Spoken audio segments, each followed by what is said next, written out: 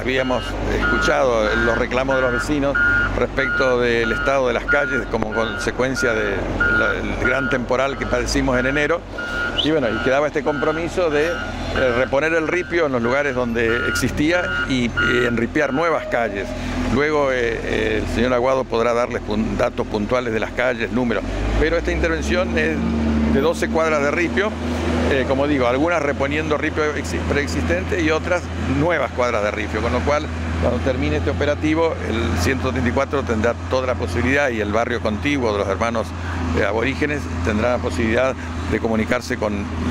el sistema de pavimento urbano del barrio 713. Así que eh, realmente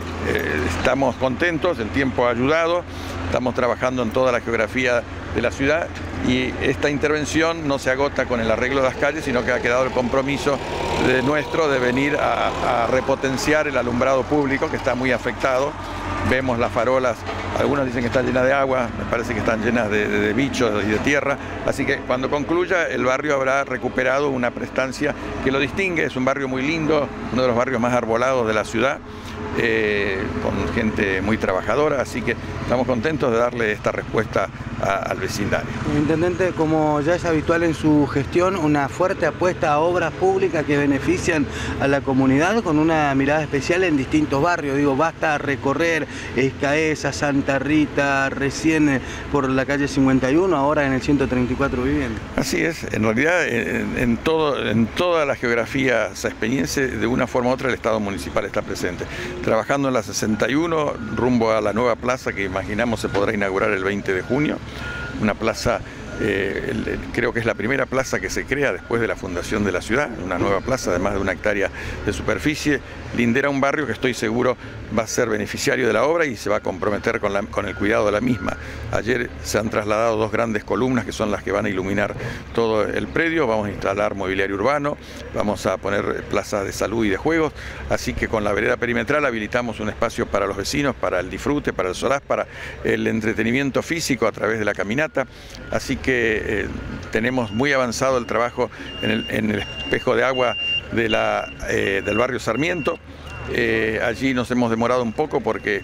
lo que se iban a ser dos pequeños puentecitos se transformaron en casi en dos puentes que van a ser los que van a permitir el cierre del círculo para los caminantes y cuando inauguremos eso también tendremos trabajado todo el barrio Sarmiento en la reparación de la calle ancha del Boulevard Esperanto y eh, el entorno, que el vecindario nos está reclamando que le arreglemos las calles. Vamos a hacer todo en simultáneo y en consonancia con la inauguración de ese espacio. también se está trabajando en lo que respecta al paseo eh, de la calle 1, desde lo que es la pasarela hacia el museo. Sí, la semana que viene va a volver a tener eh, continuidad la obra, había tenido un parate por, respecto de las dificultades para la provisión del hormigón, pero imaginamos que la semana que viene va a adquirir volúmenes ahora. aprovechando después de esta catástrofe que fue la gran inundación, este, dejando la ciudad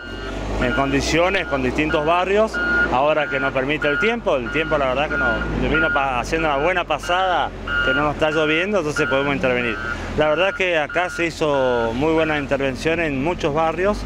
como por ejemplo se ha intervenido en el barrio Obrero por la 31, se intervino en el barrio Escaesa completo con nueve cuadras de ripio, la calle Independencia, y ahora se está interviniendo muy fuerte eh, acá en este barrio, se hizo una previa reunión acá con el secretario de Gobierno Provincial Polín, el intendente, se ha, reunido la gente de vivienda y se le pidió la inquietud que tiene eh, sobre lo que es el ripio, sobre lo que es la cuneta, no solamente el ripio, es cuneta, es desmalezado, eh, después viene iluminación, bueno, esto es bueno que los vecinos se junten y que, lleguemos nosotros hasta el barrio, entonces para ver su, inquietud y estamos trabajando en esto, ¿no? Ya tenemos programado eh, de acá dónde vamos a ir, a qué barrio vamos a ir, así que hay una intervención muy grande por esas peñas y para todos los barrios de esas peñas, ¿no? Y bueno, y tenemos que agradecer acá a, Gerardo, el intendente, a Bruno, que están consiguiendo el ripio, que no es fácil traer ripio, cada cuadra de estas lleva 90 toneladas, o sea, son tres bateas, y se está trayendo de las piedritas, así que vos imaginate con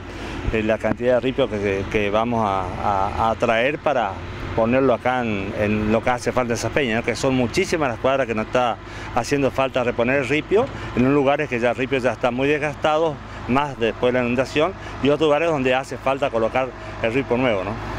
fuerte intervención entonces en los barrios que aún no se llega, bueno, la paciencia para, para saber esperar porque en algún momento va a llegar. Así es, se está haciendo muchas cunetas, mucho trabajo, ustedes ya lo han visto, mucho trabajo aparte en obras públicas de pavimento, mucho trabajo de ripio, de cuneteo, de limpieza, de esmalezado, los residuos que realmente hay que siempre dar mucho hincapié, que lunes, miércoles y viernes es común y martes y jueves es diferenciado. Y no obstante, siempre pedir a la comunidad que no tiren residuos en cualquier lugar para no, para no hacer basural espontáneo, que estamos siempre radicando esto. Y bueno, la ciudad de Peña eh, como dice nuestro intendente, la tenemos que hacer entre todos y todos cuidarnos y todos, si ven que hay algo anormal, bueno, denunciar a 103, donde están tirando basura, y cada uno tiene que tener su cuneta limpia y, su, y cuando pase su recolector de residuos en, su horario y término para poder sacar su residuo, así no queda amontonado hasta el otro día.